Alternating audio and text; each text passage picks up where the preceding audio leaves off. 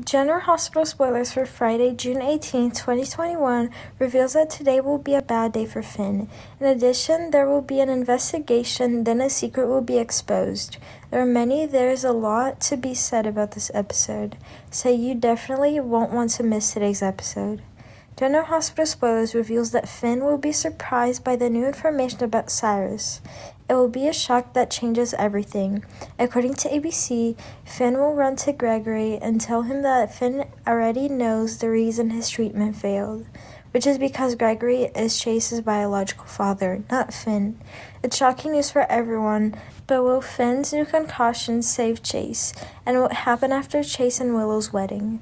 In addition, Liz will have problems to worry about. She is hiding Peter's body in the refrigerator and doesn't want Anna to find it. Liz hopes that she will bring Anna peace, but that will not happen. We know that for now, Anna only wishes that she could find Peter, but that would be difficult because Liz hid Peter's body so well. Meanwhile, Obrecht will worry about what's going on in her life. She's worried about her daughter. Later, Obrecht would go to Jason to ask him what he wanted to do with Britt. But that would make Jason uncomfortable. He didn't want to answer Obrecht's question, mainly because this isn't the first time he's heard it. Besides, Jason will also be confused when Carly asks about his intentions. He's also very confused as to what to do. Finally, Britt and Carly will have a serious talk. We know that Jason is very close to Carly and that Carly doesn't trust Britt enough yet. And that makes Carly very worried for her best friend.